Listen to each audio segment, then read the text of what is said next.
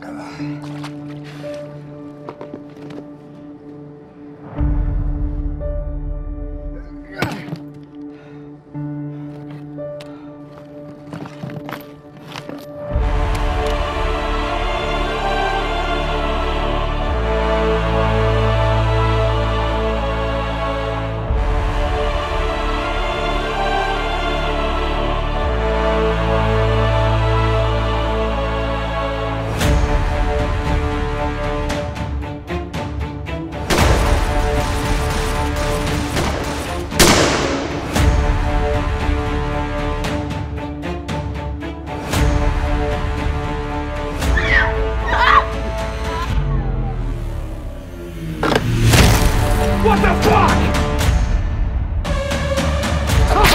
Looks